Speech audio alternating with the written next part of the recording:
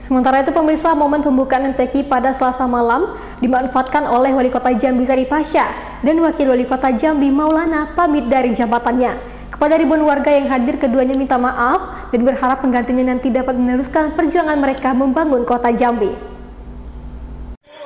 Momen berpamitan dimanfaatkan Wakil Wali Kota Jambi Maulana saat dirinya diminta Wali Kota Jambi Zari Pasha untuk memberikan sambutan terlebih dahulu. Maulana pamit dan minta maaf kepada ribuan warga yang hadir.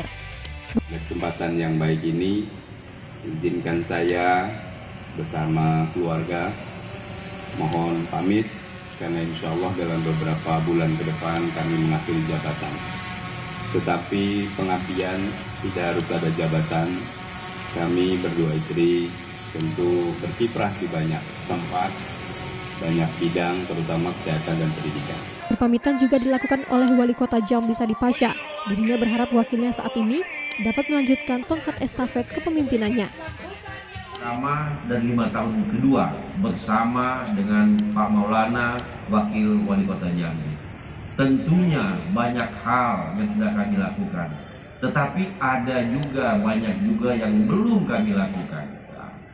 Kami berharap tentunya nanti penerus kami nanti penerus kami nanti bisa melanjutkan yang sudah kami laksanakan, mengisi kekurangan, melengkapi yang belum lengkap.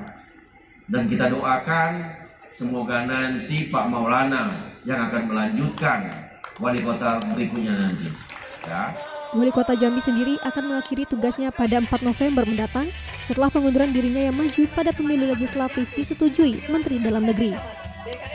Kepemimpinan Fasya Maulana pun sejatinya berakhir 7 November mendatang dan telah diumumkan DPRD Kota Jambi. Namun dikarenakan Fasya mundur, hanya Maulana yang diumumkan oleh DPRD. Jambi TV